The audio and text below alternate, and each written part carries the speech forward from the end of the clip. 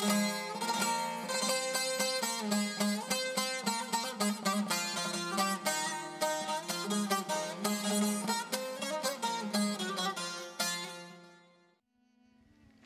Сәлем алейкум, мұхтарем серджілеріміз, ақшам шерфіңіз қайырлы olsun.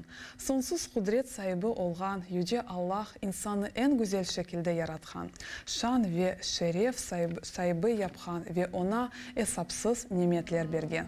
Ве Аллах мұсылманларға güzel ислам динімізні сайбы олмаға ве она итаат етмеге фарс қылған.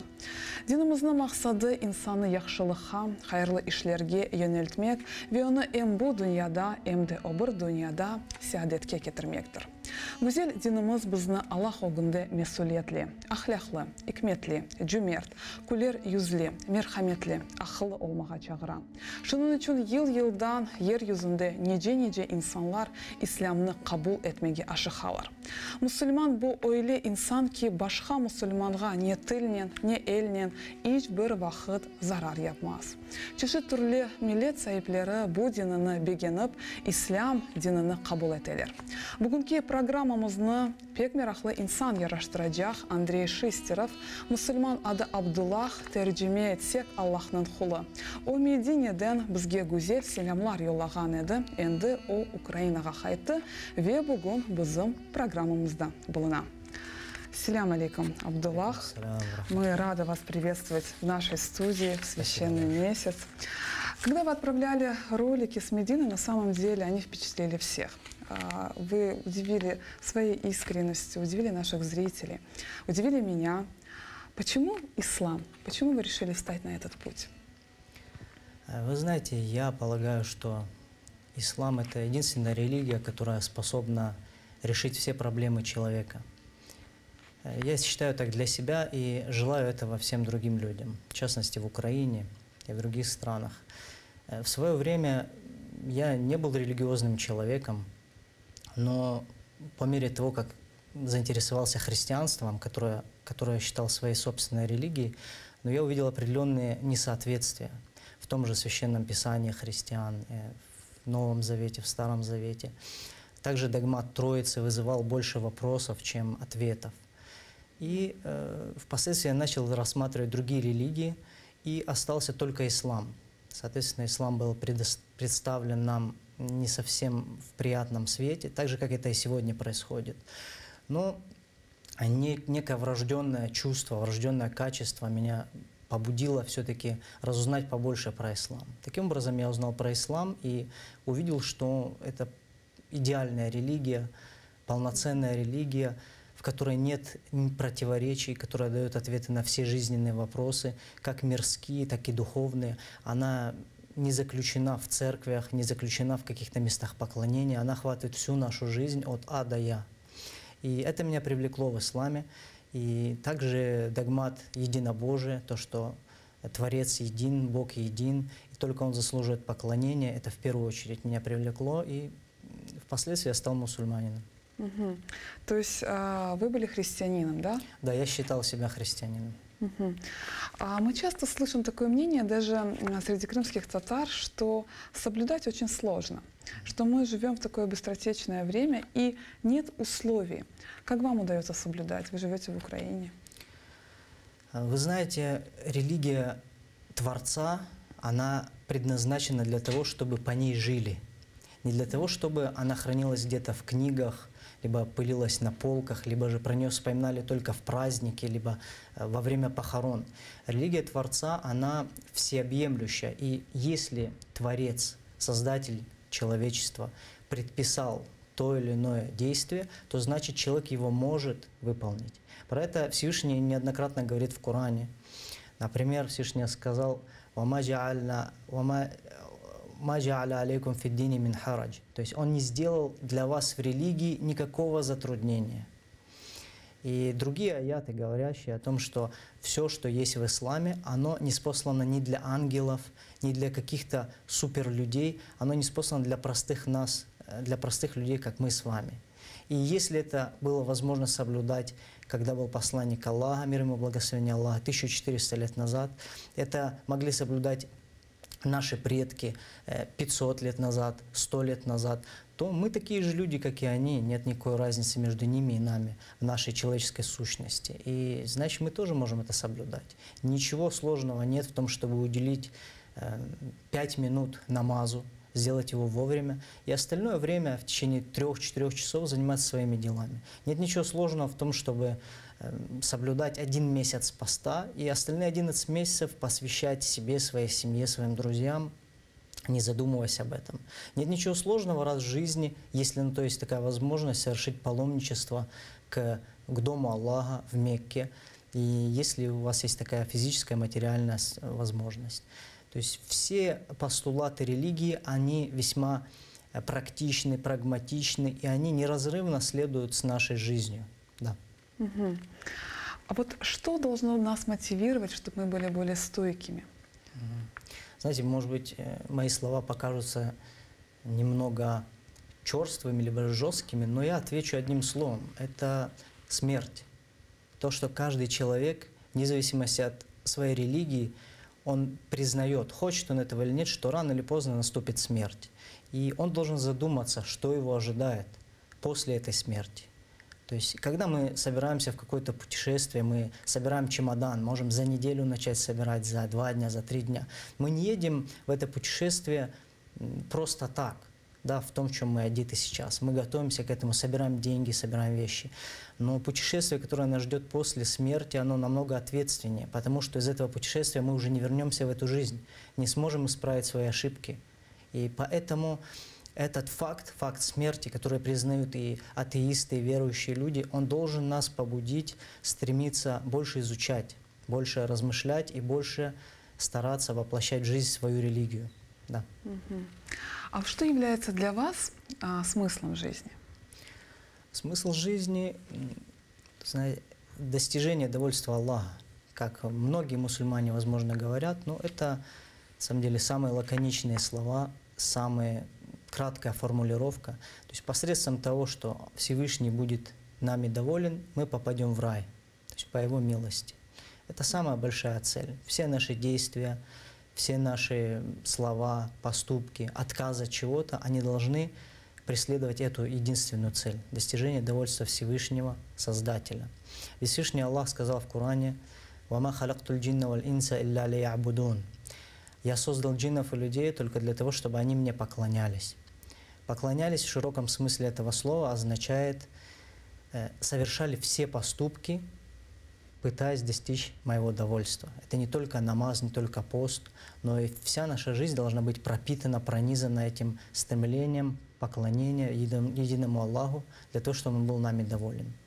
И мы пытаемся достичь довольства начальства на работе, мы пытаемся достичь довольства каких-то людей, каких-то окружающих. Но порой мы забываем о довольстве того, кто создал всех этих людей, довольстве Всевышнего Аллаха. А расскажите, а когда вы приняли ислам, как вы начали меняться? Я принял ислам почти 16 лет назад. Это было 18 августа 2001 года. Хотел бы после благодарности Всевышнему Аллаху также сказать слова благодарности своим родителям, дорогим моим родителям, которые воспитали меня в хорошей семье, дали мне хорошее образование, никогда мне ни в чем не отказывали. И у меня была хорошая жизнь, и после ислама она стала только лучше. Я не могу сказать, что был каким-то сорви головой, а после ислама я стал таким милым парнем. Нет, но ислам, конечно же, это религия дисциплины, это религия четкости, религия мудрости, когда все, все остается на своих местах. Естественно, в каких-то сложных ситуациях э, законы ислама, они мне помогали делать правильный выбор, несмотря на то, что, возможно, мои страсти, мое сердце э, диктовало мне какие-то другие решения, но возвращаясь к Корану и к сунне его посланника мир ему, я находил более правильные решения, которые впоследствии, мудрость которых я чувствовал впоследствии. Вы говорите ислам, а, говорите о мудрости. А почему а, происходят такие вещи? Ну, это, конечно, в большей части происходит в России. Очень многие исламские книги запрещены. А, в мечетях происходят обыски. Почему так боятся мусульман? Я, конечно, не подкован в политике и не могу говорить от имени кого-то, но я скажу субъективное мнение, что ислам, в исламе некоторые люди, в частности власть имущие, они видят угрозу своей власти.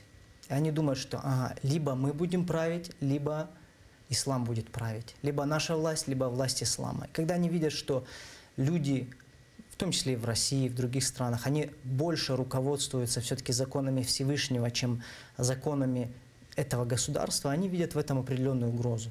И, то есть Украина к этому подошла проще, она выбрала более европейский путь, европейские ценности, и она пошла по пути сотрудничества с мусульманами, потому что они являются неотъемлемой частью ее истории, ее самобытности. А в других странах э, ситуация иная. Даже в Европе ситуация немного напряженная, иная. Э, я думаю, что лучше дружить, чем соперничать. Угу. Мы сейчас живем все-таки в сложное время. А вот а как смотреть на те ситуации, свидетелями которые мы сейчас все с вами становимся?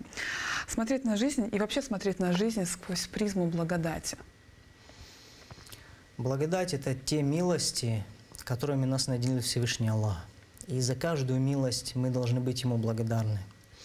Посланник Аллаха, мир ему благословение Аллаха, сказал, что э, если тебе тебя что-то не устраивает, тебе что-то не нравится, то посмотри на того, кто владеет еще меньшим. То есть в вопросах религии ты должен смотреть на того, кто выше тебя, в знаниях, богобоязненности.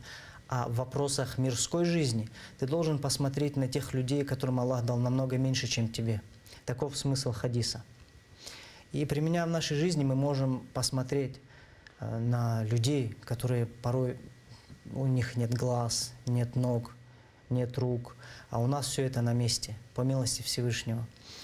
А некоторые люди не находят то, что поесть в течение дня и ночи, мы же находим это с достатком, даже остается.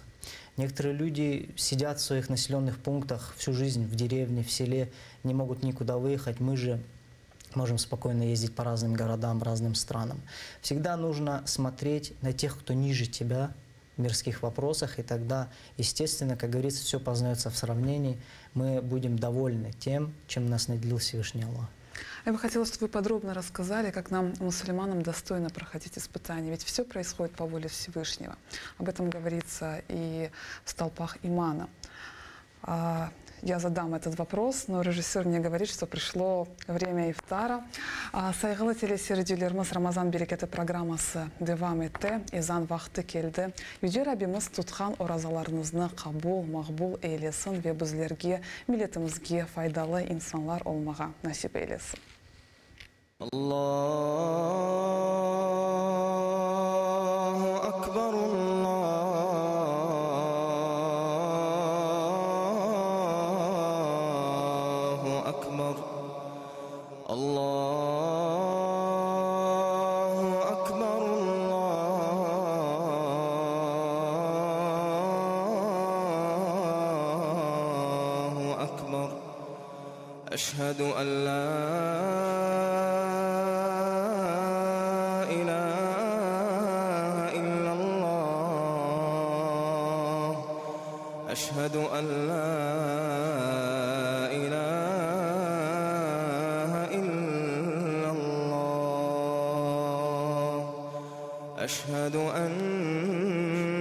محمد رسول الله.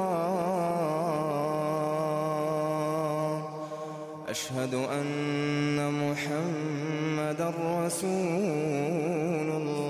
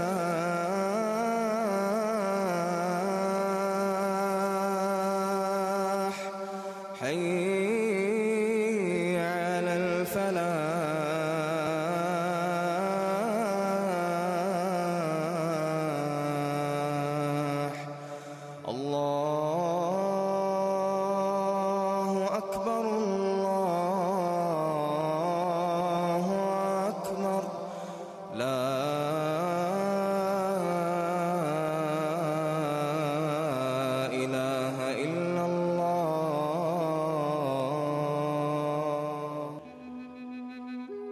Аллахым, сенің ризан үшін ораза тұттым, сана инандым, сана күвендім, сенің рызқын еле оразамны ачтым. Рамазан айының ярынки оразасына да ниет еттім. Артық менің кечкен ве келечек гунахларыма бағышла. Аминь.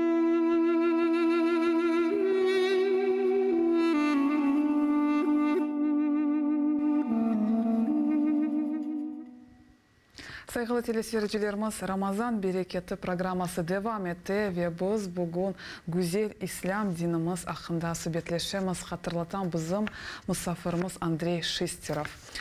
А, Андрей, и мой следующий вопрос, Абдуллах. А, Я спросила у вас, как достойно проходить испытания. А, Ведь все происходит по воле Всевышнего. Вот как нам, мусульманам, достойно пройти все трудности, с которыми приходится склад- э, сталкиваться. Мы, как мусульмане, должны помнить, что в любой трудности, в любой непроходимой ситуации есть определенная мудрость Всевышнего. Если Всевышний нам предписал то или иное испытание, значит, мы можем его пройти. И обязательно любой мусульманин должен полагаться на Всевышнего Аллаха, уповать на Него. Таваккуль по-арабски означает это упование. Всевышний Аллах говорит в Коране, «Вамай ятаваккаль аля Аллахи, фахуа хасбух». Тот, кто полагается на Аллаха, то ему его достаточно. И в любой ситуации мы должны помнить, что нас видит и слышит наш Создатель, и от Него ничто не скроется. Несправедливый получит по заслугам, а тот, кто угнетен, получит помощь от Всевышнего Аллаха. Про это говорится в хадисе посланника Аллаха, мир ему и благословение Аллаха, о том, что на мольбу трех категорий людей будет дан обязательно ответ. И одна из этих категорий – это тот человек, с которым обошлись несправедливо. Что, если мы говорим про целый народ, с которым обошлись несправедливо? И поэтому, уважаемые мусульмане, помните о том, что дуа, мольба тех, с которым обошлись так несправедливо, она будет принята Всевышним Аллахом. Также в другом хадисе говорится, что между мольбой угнетенного и Аллахом нет никакой преграды. Поэтому я вас призываю использовать это, это великое оружие, оружие мольбы, и полагаться на Всевышнего Аллаха в любой ситуации, и помнить, что после трудности будет легкость. Но для этого должен быть очень крепкий иман. И дай Аллах, чтобы у нас у всех был такой крепкий иман. А как быть э, нам, мусульманам, примером для других? Э, Ответ очень прост. Нам следует во всем следовать посланнику Аллаха, ведь в нем для нас был хороший пример. Про это Всевышний Аллах говорит в Коране, что «Лякад кана лякум фи расулиллахи усватун хасана». Поистине для вас был в посланнике Аллаха хороший пример. Весь Коран, вся сунна нас призывает следовать этому великому человеку, который был арабом, но его религия была для всех людей. Сегодня мы видим, как э, буквально менее 20% мусульман – это арабы. Все остальные 80% – это представители других национальностей. Самая крупная мусульманская страна – это Индонезия, и ее представители не являются арабами. Э, Также последние годы множество славян принимает ислам, украинцев, русских и других людей. Сегодня мы видим, как э, в других странах, в Европе, в частности в Британии, большинство жителей тех или иных городов составляют мусульмане.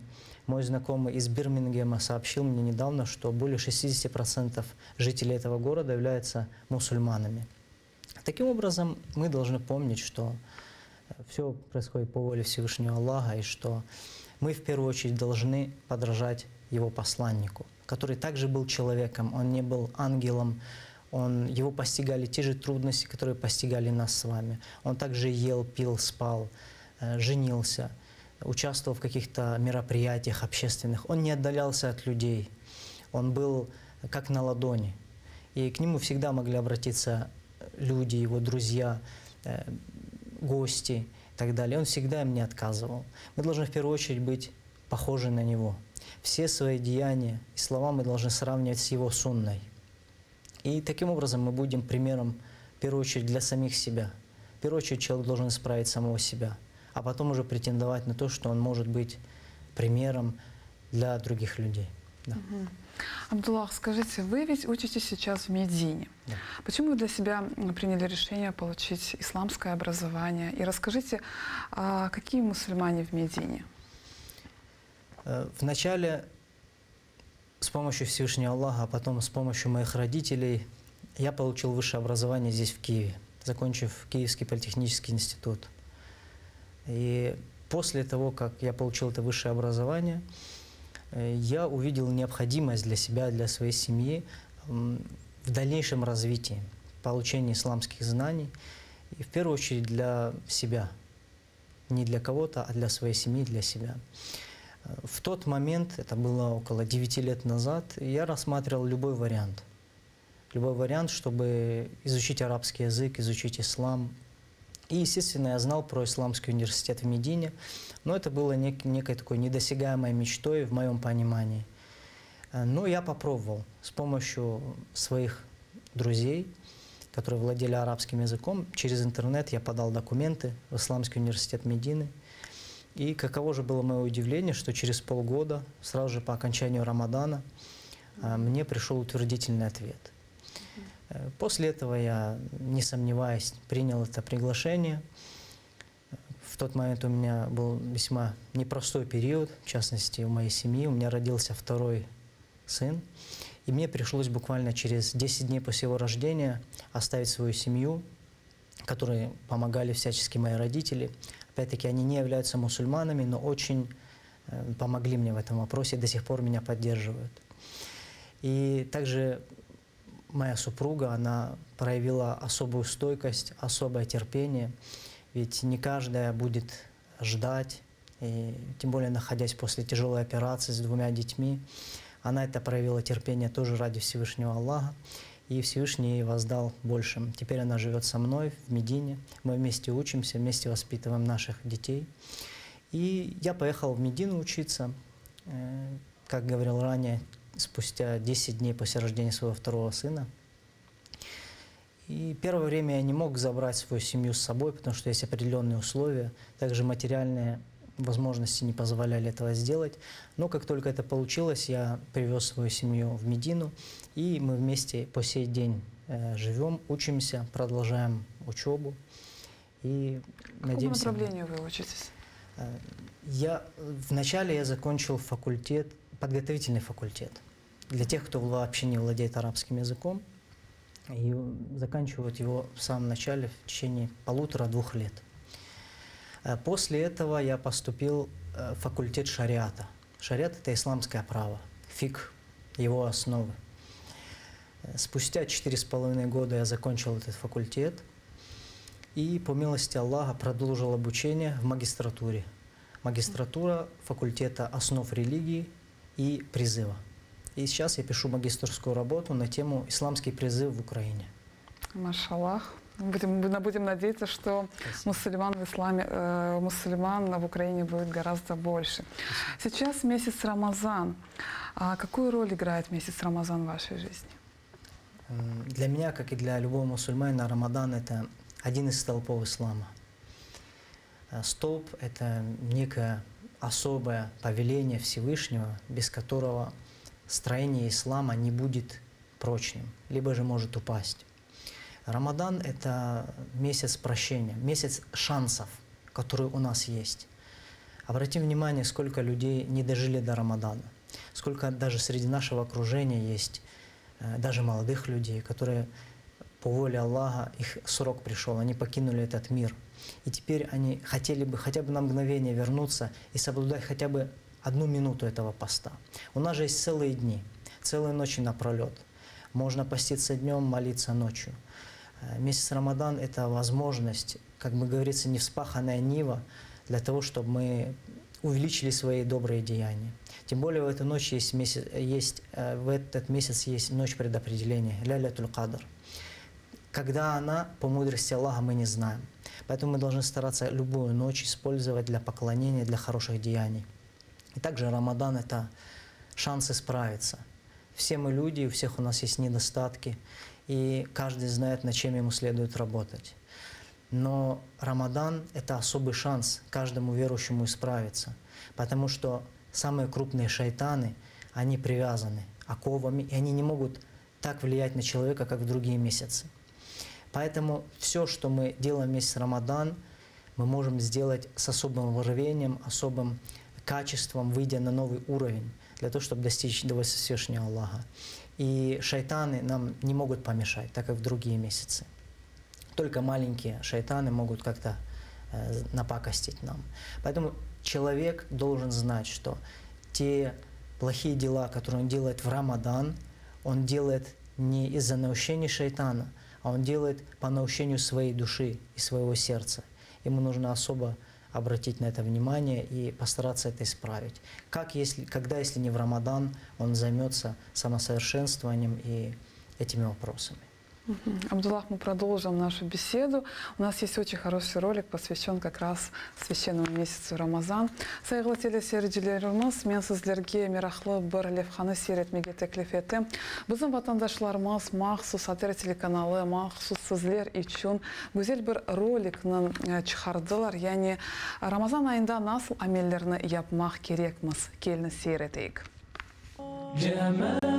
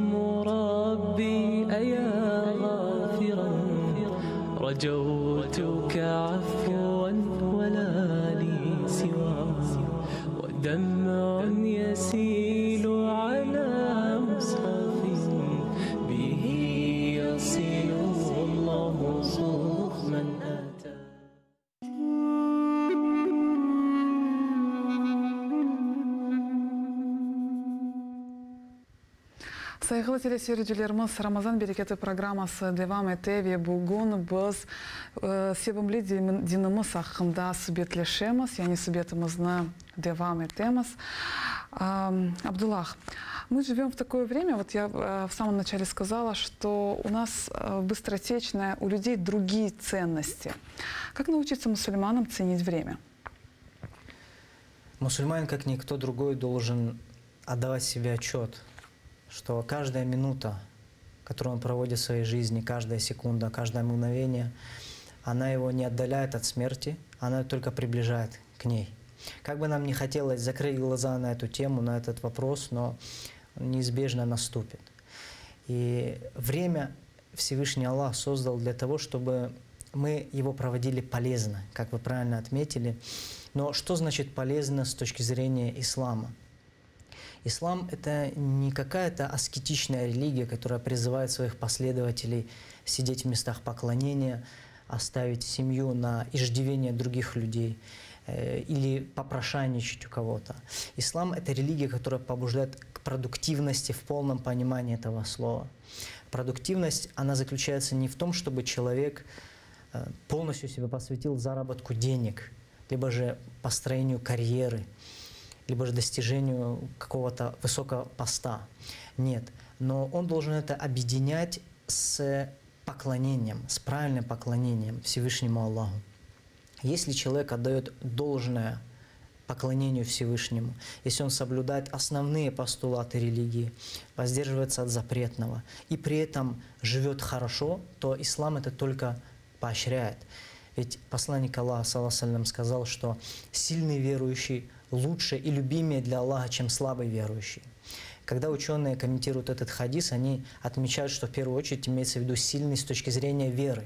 Но также в это понятие входит сильный физически, сильный материально. Потому что если он силен матери... материально или физически, он может помочь не только себе, но и другим мусульманам. Поэтому продуктивность с точки зрения ислама – это не сугубо материальное. И также ислам не противоречит Ислам не обязывает нас э, становиться полностью э, аскетами. Ислам, он следует среднему пути, который объединяет между духовным и материальным. Ислам нас учит э, заботиться о своей семье и уделять время поклонению, учит поститься и разговляться, учит нас работать, стараться и в то же время отдыхать как однажды к посланнику Аллаха, мир ему пришли люди и сказали, один из них сказал, я никогда не женюсь, другой говорит, я никогда не буду разговляться, буду встаивать ночи напролет.